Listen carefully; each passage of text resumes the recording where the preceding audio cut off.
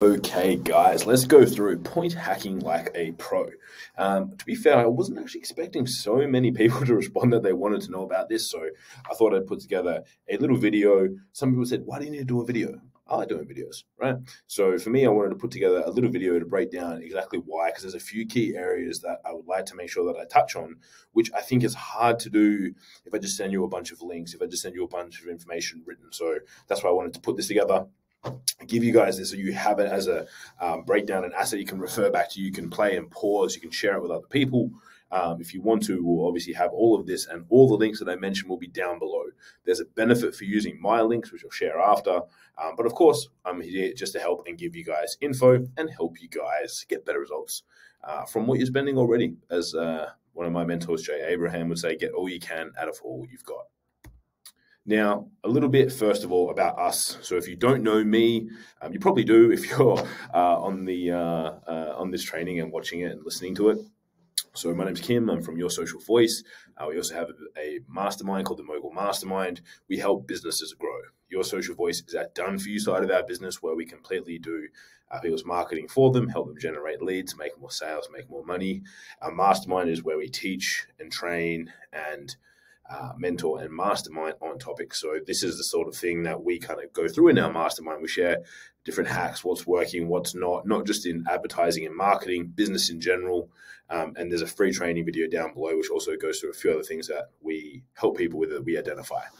Um, so that's a little bit about us. We've been doing this since 2014. Been around the traps a little while and uh, we generally we know kind of what we're talking about and we like to talk to a lot of experts in these areas so you also see down below um, i have a expert uh, steve hui from ifly flat he's done a training as well 20 minute training on uh, point hacking making sure that you never have to fly economy again you know and just fly flat um, there's nothing financial here. I'm not giving advice. I'm not telling you what to do or anything like that. Always assess your own goals, your own personal preferences, your own um, tolerances to expenses. So please don't think that anything I say in these videos is me recommending you to do anything and saying you have to do it.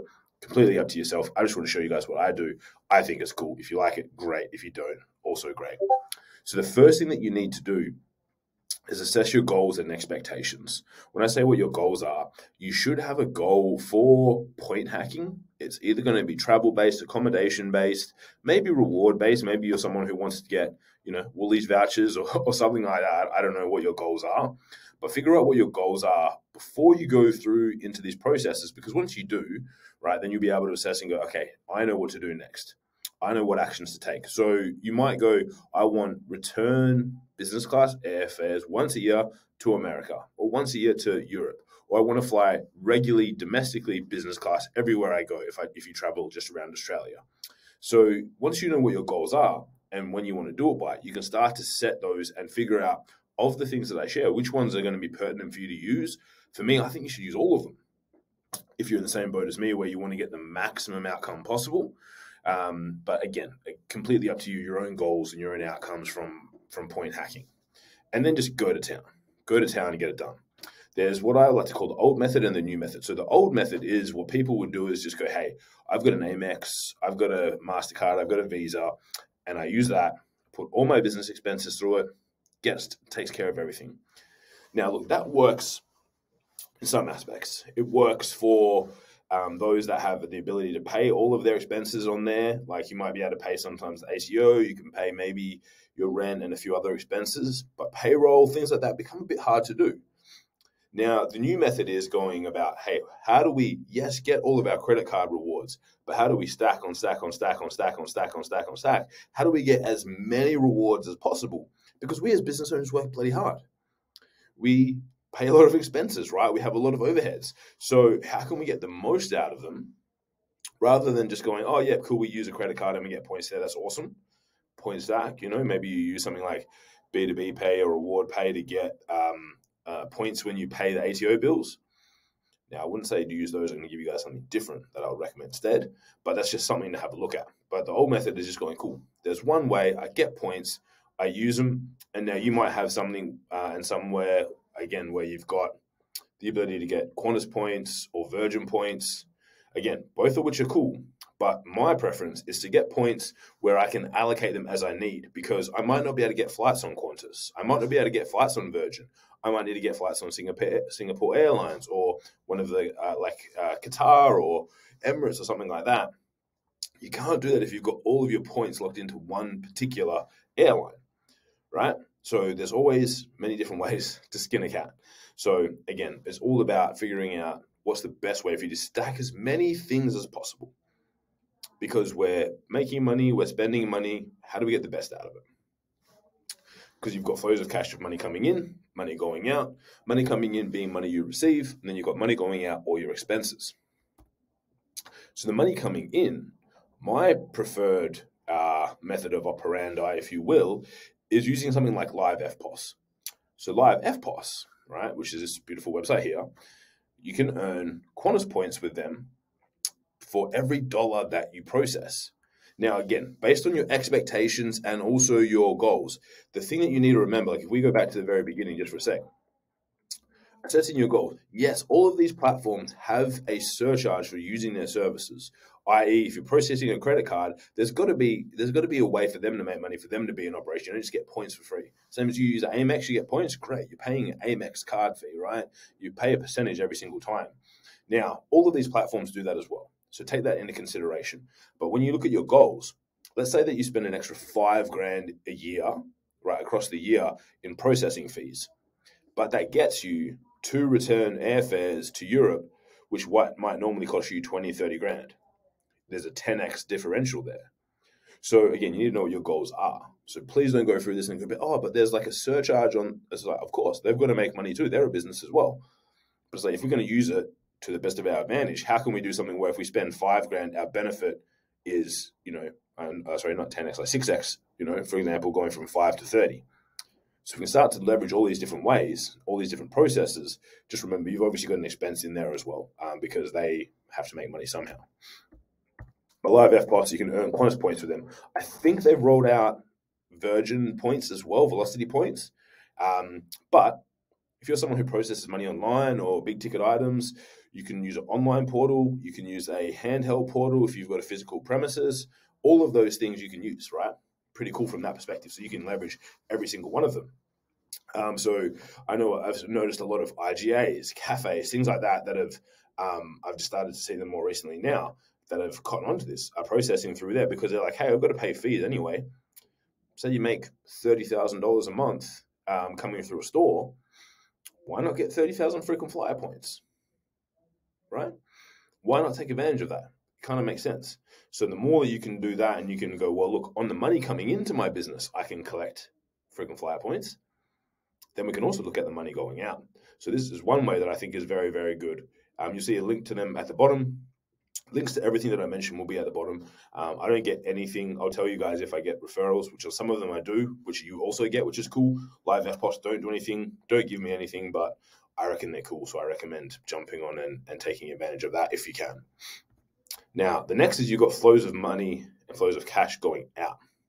You've got your overheads and expenses, payroll, you've got your rent, advertising, overseas supplier and team, which a lot of people haven't really been able to leverage. You've got people in the Philippines, all that sort of stuff. The ATO, you've got to pay them. GST, you've got um, uh, super, you've got pay you go withholding, all of that sort of stuff that you've got to pay.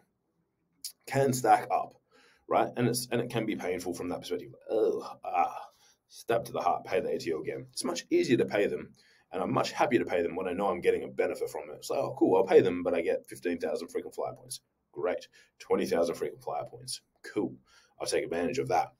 So all of these can be attributable to you to get points. You can actually get rewards from all of these payments, including your overseas team. Right? Not just talking about one, as I said, the old school way is one thing. I pay with my credit card, pay with my Amex.